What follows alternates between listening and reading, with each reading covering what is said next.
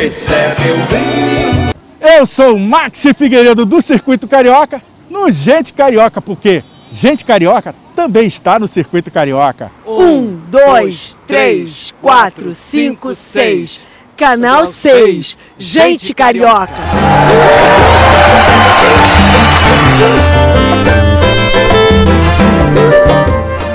A gente está com você, Gente Carioca invadindo a sua casa, com o maior amor, fazendo um programa para você. Fique com a gente, porque aqui tem cultura. E Cida Moraes invade hoje, em grande estilo, claro. Para você assistir o nosso programa. Gente Carioca. Bem. Boa noite, boa tarde, bom dia, minha gente. Gente Carioca já no ar. E lembrando, todas as sextas-feiras, meia-noite, TVC, canal 6 da NET, meia-noite, sexta para sábado. E domingo temos reprise, meia-noite e meia, no mesmo canal. Canal 6 da NET, TVC, Rio de Janeiro. Um Gente Carioca, hoje com coisas novíssimas. Estamos flexibilizando um pouquinho, sempre ao ar livre. Já começando o encontro que houve dos ex-funcionários da Vale. Estivemos lá no centro da cidade com todos os cuidados possíveis e imagináveis. Vamos assistir? Recebe o bem. Queremos o nosso dinheiro! Queremos o nosso dinheiro! Queremos o nosso dinheiro! Queremos o nosso dinheiro! Queremos o nosso dinheiro! Queremos o nosso dinheiro! Queremos o nosso dinheiro! Queremos o nosso dinheiro! Queremos o nosso dinheiro! Queremos o nosso dinheiro! Queremos o nosso dinheiro! Queremos o nosso dinheiro! E o programa Gente Carioca é sempre dos lugares mais importantes do Rio de Janeiro. E hoje aconteceu um encontro dos ex-funcionários da Varig. Alguma coisa muito séria está acontecendo, vamos saber já já. Bom, Luiz Mota, que é o mentor disso tudo hoje, né? Que, qual a, a- a finalidade desse encontro de hoje? Olha só, a gente, tá- a gente tá, nós eh, fizemos um abaixo-assinado, onde nós conseguimos, conseguimos fazer esse abaixo-assinado no dia 15 de outubro. 40 dias depois, nós chegamos a 80.200 e poucas assinaturas. Chegamos a 2.600 agora, né? Onde nesse abaixo-assinado nós pedimos que 80% do valor que vai ser, vai acontecer um leilão agora, onde eles vão leiloar um dos últimos bens de valores da Vale, né? Que é o Centro de Treinamento de Operacional que vai leilão agora com lance inicial de 122 milhões. Então nós estamos pedindo nesse abaixo assinado que o juiz determine que 80% do valor que vier a ser arrecadado, não importa se para mais ou para menos, que 80% desse valor arrecadado seja convertido para créditos trabalhistas ainda em 2020. Foi tudo pago, a pessoa foi aposentado certinho ou não? Não, é- é- são, são, são duas coisas distintas, né? Uma é a dívida trabalhista, que a dívida trabalhista ela alcança aposentados, não aposentados, não importa. São aquelas pessoas que tinham que receber férias, rescisão de contrato, é, todo- todos aquele- aqueles valores trabalhistas que deixaram de receber. Pessoas que saíram até antes da empresa, receberam promissórias dizendo que a Varig ia pagar, mas ainda assim ela não, não honrou esses compromissos. Então essas pessoas estão lutando na massa falida para vir a receber os seus direitos trabalhistas, né? Já as pessoas aposentadas em aeros e tal, aí já é uma outra, uma outra luta nossa também, que é a, a luta previdenciária. Qual era a sua função na Varig antes? Eu era comissário de bordo durante 27 anos na Varig, eu, É nacional ou nacional? internacional. Eu comecei na Cruzeiro, voei três anos Cruzeiro, passei para Nacional, tive dois anos no Nacional e logo, eh, prontamente fui para Internacional, onde acabou até 2006, quando eu recebi aquele telegrama sem nada a receber. Eu e mais 13 mil pessoas. O que é voar para você? Ah, rapaz, olha, eu vou te confessar e vou ser bem sincero, o voar era uma liberdade muito grande, era um prazer muito enorme, não só de lidar com as pessoas, mas de conhecer os lugares. A gente tinha uma vida muito boa naquela época da Varig, os voos eram longos, pernoites enormes, hotéis maravilhosos, era uma, era uma chance única de você conhecer todas as grandes cidades do mundo. Qual era a sua função na Varig? Comissária de bordo. Você amava o seu trabalho? Como? Você amava o seu trabalho? Eu amava. É, era a minha vida voar na Varig. Era uma das companhias, é a companhia maior desse país, né? Eu tinha muito orgulho de trabalhar nessa empresa. E infelizmente a gente tomou um golpe, né? Aí do, do governo, né? E de tudo que comandava essa empresa. E infelizmente estamos aqui brigando pelos nossos direitos trabalhistas já há 14 anos sem receber um centavo. Você se aposentou? Não, não me aposentei. Consegue? Não, porque eu, eu, eu tenho, tinha 21 anos de Varig, mas eu precisava voar mais 4 anos para fazer a especial, né? e tem que dar a contribuição. Só que a gente não tinha como pagar a contribuição no INSS, então a gente, eu fiquei sem pagar. Então, porque a gente não tem de onde receber, onde vai receber, gente não estamos recebendo nada, entendeu? Aí eu não me aposentei por isso. Mas tem gente que tinha mais idade para se aposentar, entendeu? Tem esperança de resolver seu problema?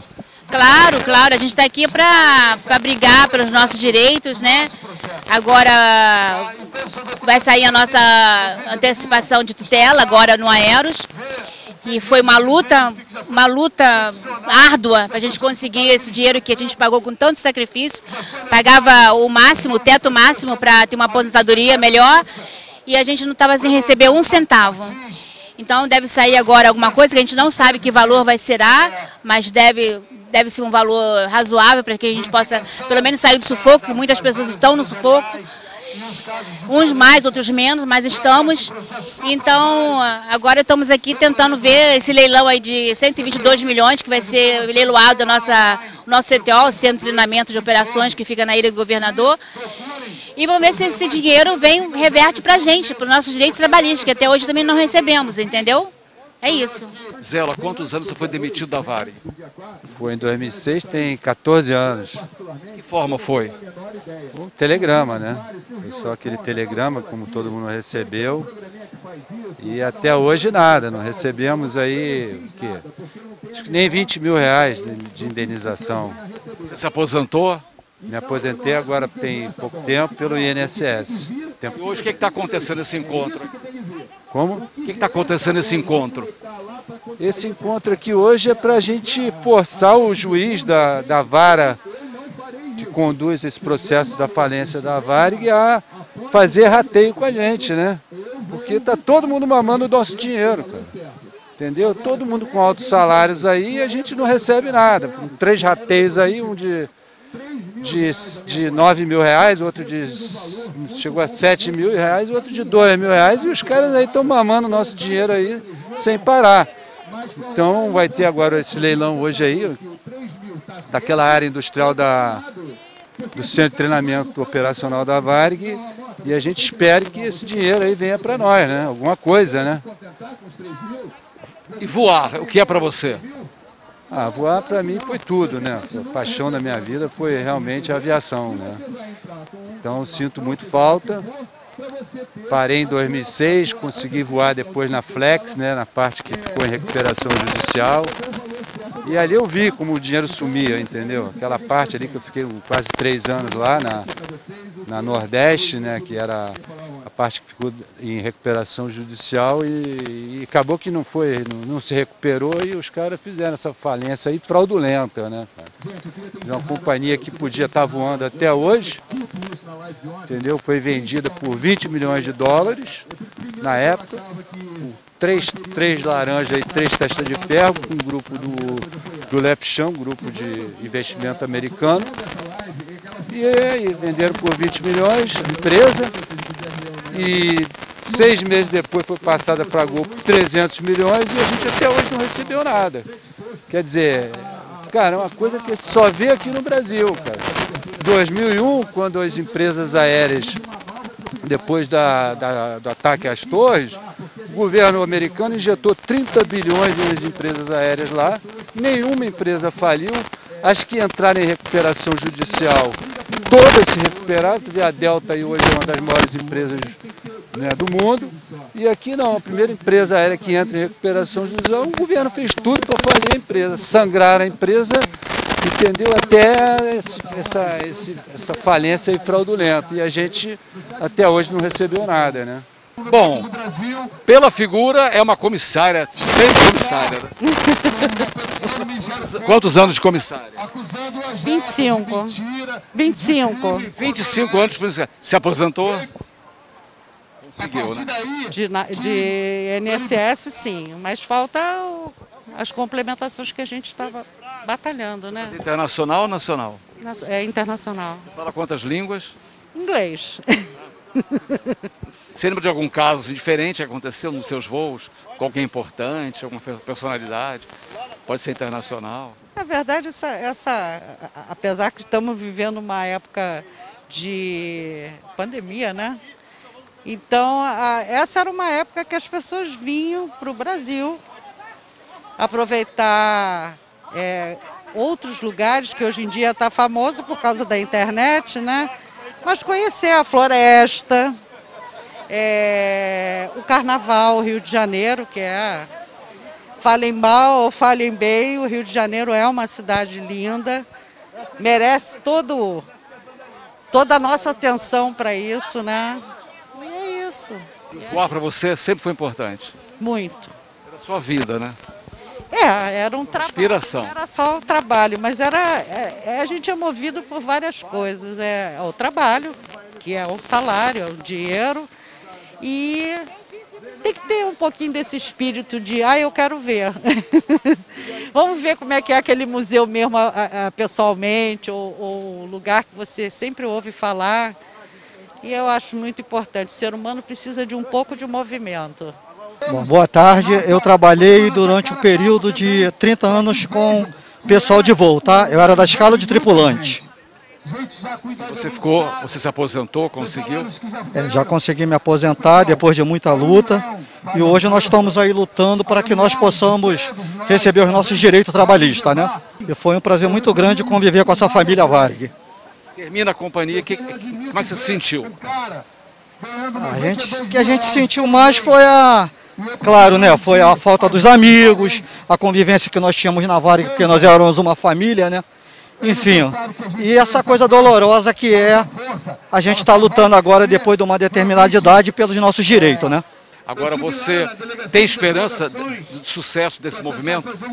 É, eu tenho esperança que nós vamos ter resultado positivo, tá? Depois de nós estarmos 14 anos nessa luta, acredito que a justiça será feita. Olha, eu acho esse movimento muito importante, afinal são 14 anos de injustiça que nós estamos aguardando pelo nosso dinheiro Agora a gente está tendo aí uma grande vitória a partir do dia 2. Vamos receber o dinheiro do, do Aeros, mas ainda falta muito dinheiro para ser recebido atrasados. O dinheiro da massa falida, que não veio nada ainda quase para a gente. A gente tem 150 salários mínimos para receber. Até hoje a gente só recebeu 20 mil de rateio. Então são 14 anos de calvário, várias pessoas que já faleceram. E a gente está aqui lutando. O número é reduzido, mas a gente continua buscando a justiça. O que a gente precisa precisa é da justiça, porque tudo que aconteceu com a Varig foi injusto. E a gente só está lutando porque a gente tem muito direito. Você tem esperança que se resolva breve? Breve não, mas eu acredito em Deus. Eu acredito em Deus. Na justiça eu não acredito muito não. Você vê, a gente está resolvendo um problema de 14 anos agora. Então, breve. E até porque, depois que a pessoa passa dos 50, nada é breve. A partir de agora, Entendeu? nós temos uma... Obrigado.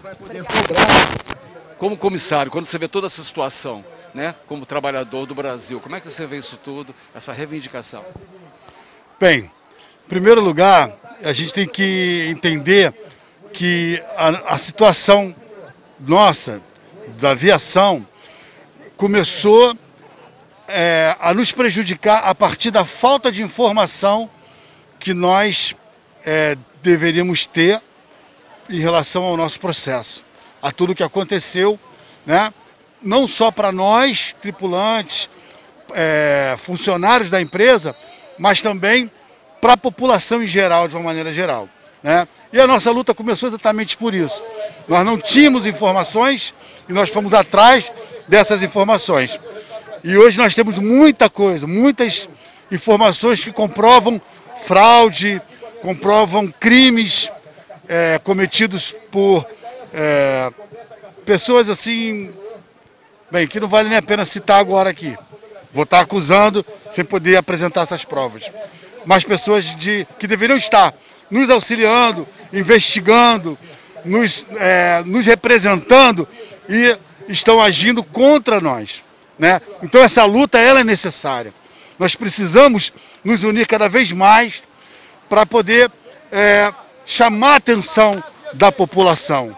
Eu daqui a pouco eu vou falar e eu vou hum, falar para as pessoas sobre o que, o que nós temos na, na, nas mídias sociais, na internet, disponível para que as pessoas vejam com seus próprios olhos os crimes que foram cometidos contra essa classe de trabalhadores, a nossa classe de, de aeronautas.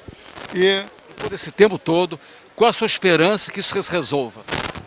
Bem, a minha esperança é que pelo menos amenize todo o sofrimento que foi causado a mim, a minha família e a família dos meus colegas de trabalho.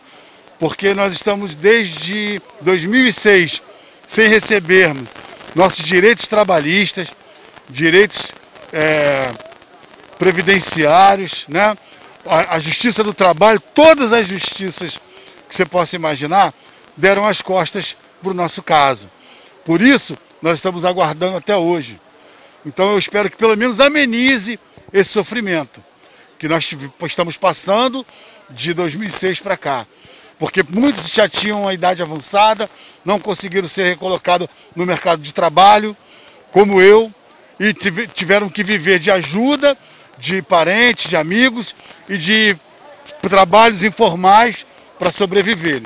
Consegui sobreviver até aqui fazendo trabalhos informais, vendendo churrasquinho na rua, fazendo trabalhos de- de manutenção de computador, enfim, é, consegui sobreviver. Mas se eu estivesse com a minha profissão, com a minha carreira, com tudo que eu tinha de direito garantido, eu não estaria passando o que eu passei. Nenhum de nós, né? Nenhum dos outros trabalhadores. Então, pelo menos que amenize esse sofrimento. Que a gente possa agora receber os nossos direitos o mais rápido possível. Não deixar acontecer como aconteceu com muitos, que já partiram, não estão mais aqui e estão, não receberam os seus direitos. Queremos o nosso dinheiro! Queremos o nosso dinheiro! Queremos o nosso dinheiro! Queremos o nosso dinheiro! Queremos o nosso dinheiro! Queremos o nosso dinheiro! Queremos o nosso dinheiro! Queremos o nosso dinheiro! Queremos o nosso dinheiro! Queremos o nosso dinheiro! Queremos o nosso dinheiro! Queremos o nosso dinheiro! Queremos o nosso dinheiro! Queremos o nosso dinheiro! Queremos o nosso dinheiro! Queremos o nosso dinheiro! Queremos o nosso dinheiro! Queremos o nosso dinheiro! Queremos o nosso dinheiro! Queremos o nosso dinheiro! Queremos o nosso dinheiro! Queremos o nosso dinheiro! Queremos! Queremos o nosso dinheiro! Queremos o nosso dinheiro! Queremos o nosso dinheiro! Queremos o nosso dinheiro! Queremos o nosso dinheiro! Queremos o nosso dinheiro! Queremos o nosso dinheiro! Queremos o nosso dinheiro! Queremos o nosso dinheiro! Queremos o nosso dinheiro! Queremos o nosso dinheiro! Queremos o nosso dinheiro! Queremos o nosso dinheiro!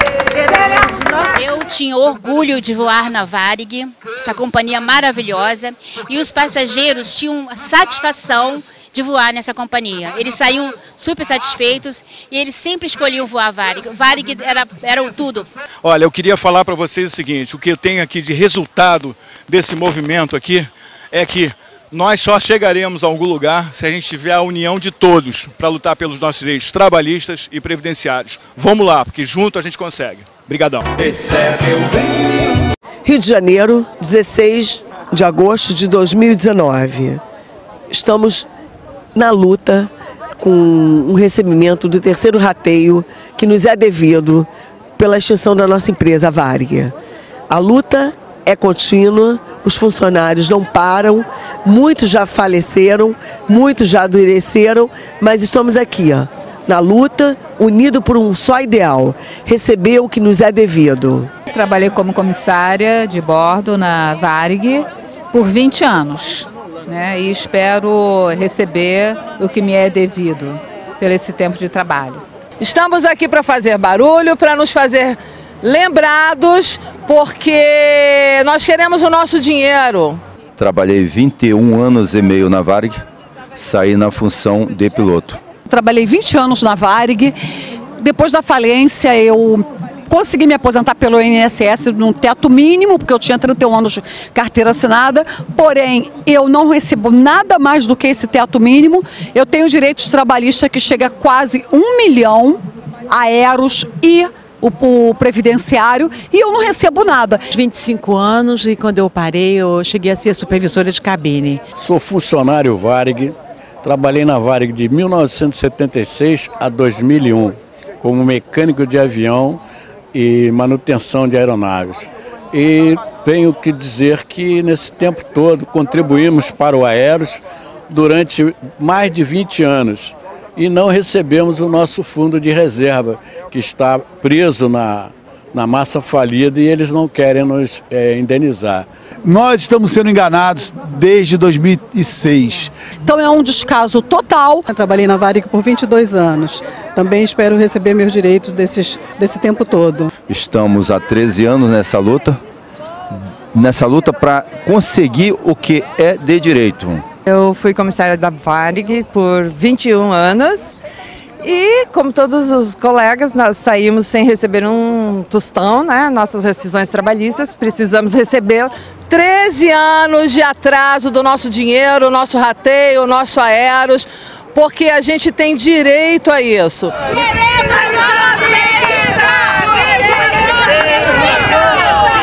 Sou o ex-comissário Varig. Então nós estamos aqui nessa manifestação fazendo é, um barulho para tentar chamar a atenção das pessoas mais uma vez para a nossa causa. O apelo que a gente faz aqui, esse pessoal todo que está aqui agora, é isso, a gente só precisava receber nossos direitos. A gente não quer mais nada além disso. Comissário Luiz Mota, nós estamos aqui mais uma vez aqui na Praça do Expedicionário. O que eu tenho para dizer hoje para vocês é dia 2 de agosto passado, nós completamos 13 anos dessa angústia toda que nós estamos vivendo, tanto correndo atrás dos nossos direitos trabalhistas, assim como os nossos direitos previdenciários. Temos o aeros que nós colocamos lá todos os meses é, do nosso salário, uma quantia de em torno de 8% para ter uma, uma previdência privada e foi nos tirado essa, esse direito. Foi roubado esse dinheiro. Então nós precisamos reaver esses direitos aí. Foram 29 anos de empresa e estava no cargo de chefe de equipe da Internacional, quando fechou a Varig. Que já temos mais de 10 anos pedindo a mesma coisa. Foram tirados de nós todos os nossos direitos todos os nossos direitos. A justiça brasileira, ela em nada nos ajudou até agora. Nós estamos aqui nessa corrida que vai ser eterna, nós não vamos desistir. Isso com certeza é um direito nosso e estamos aí. Já são 13 anos que estamos sem receber nossas decisões trabalhistas e previdenciárias e estamos passando por dificuldades. Foi uma grande perda, não só para a gente, como para o Brasil, porque a Varg era a bandeira brasileira lá fora do nosso país. Foi uma grande perda. Mas a gente está aí na luta. O que de positivo nós temos aqui no Rio de Janeiro é que o corregedor, o desembargador Bernardo Moraes Neto, ele iniciou uma investigação devido a tantas denúncias que chegaram aqui no TJRJ referente às varas empresariais. Ele já declarou que a juíza Daniela Barbosa fique responsável pela primeira vara empresarial, aonde está o nosso processo Varig. Estamos aí com uma empresa que é a Flex, fazendo é, pagamentos a funcionários, é, torrando, gastando dinheiro que seria para pagar os ex-funcionários da Varg, essa empresa sendo mantida numa situação de falência desde 2010 e o processo de recuperação judicial que foi feito a, através do governo Lula não serviu para nada. Então a gente não vai desistir, a gente vai continuar e é para isso que a gente está aqui. Eu conclamo a galera que não pôde vir, que possa vir, porque a gente vai continuar gritando os nossos direitos. Esperamos que com essa nossa reunião viemos obter os nossos direitos. Estão fazendo um caminho muito forte, eles precisam ter essa, essa, esse, esse, silêncio nesse momento, mas eles acreditam, eles já, já averiguaram muitas coisas que são, que são pelo menos descabíveis a todo esse processo. Estamos aqui na luta sempre para receber isso tudo. E eu espero que o próximo esse governo que está aí seja é, o nosso apoiador, que eles nos ajudem a concretizar esse, esse, esse, esse sonho nosso de receber nosso dinheiro. Por isso, aqui estamos mais uma vez e pedimos a todos que estiverem ouvindo que nos apoiem. A hashtag Aeros Acordo Já, por favor, se possível, passe à vontade. Então já se passaram 13 anos. Nós viemos pedir para que vocês compartilhem, vocês falem para as pessoas, expliquem que nós não estamos devendo ao governo brasileiro. Quem está nos devendo é a empresa que comprou a Varig, quem está nos devendo é a Varig, quem está nos devendo é o administrador, a falência da Varig, que tem os bens que foram leiloados, foram vendidos e já tem dinheiro e podem nos pagar e não nos pagam. Porque isso é roubo. Isso é roubo. Se Deus quiser, nós iremos vencer. Este é o propósito. Compartilhem. Manda esse vídeo aí para todo mundo aí para eles saberem o que está acontecendo. Obrigado. Vem com a gente. Só os nossos direitos. Obrigada. Nós vamos ter resultado. Gente, junto, nós vamos ter resultado. Obrigado pela força.